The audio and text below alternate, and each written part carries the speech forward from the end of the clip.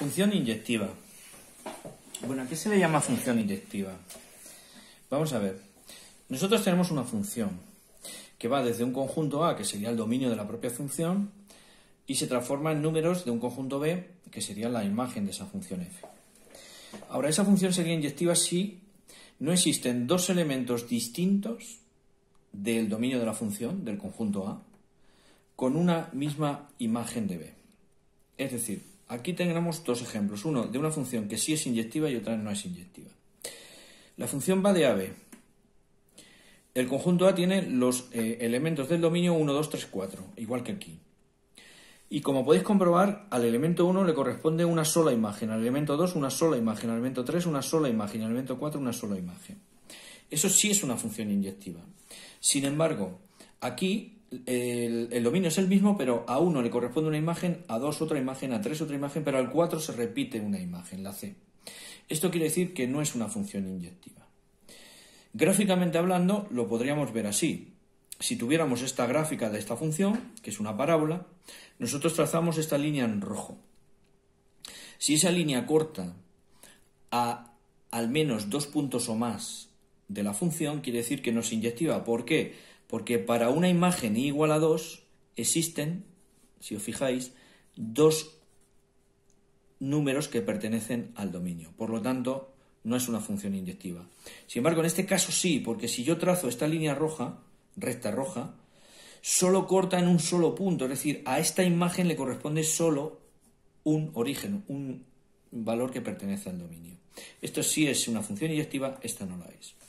Analíticamente hablando, nosotros podríamos eh, eh, calcular si una función es inyectiva o no de la siguiente forma. Nos dan una función 4x menos 1. Eh, para que sea inyectiva quiere decir que la imagen de cualquier número, de cualquier valor del dominio, tiene que ser igual a la imagen de, de ese mismo, de otro número.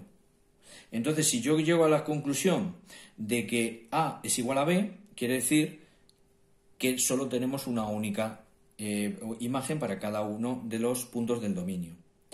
Dicho de otra manera, si yo demuestro que las imágenes son iguales, estoy demostrando si los orígenes son iguales. O dicho de otra manera, a imágenes iguales me tiene que dar por narices eh, valores del dominio iguales. Entonces sustituyo f de a igual a f de b.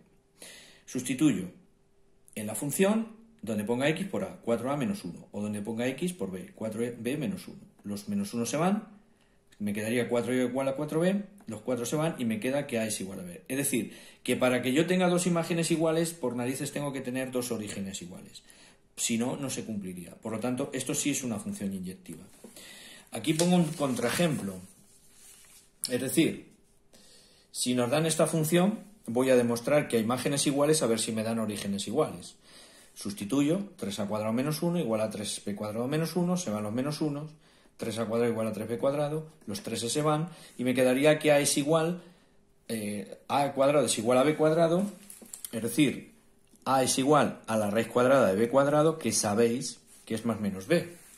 Entonces, si os fijáis, para un valor del dominio a no es igual a b nada más, también es igual a menos b. Hay dos valores, por lo tanto quiere decir que no es inyectiva esta función.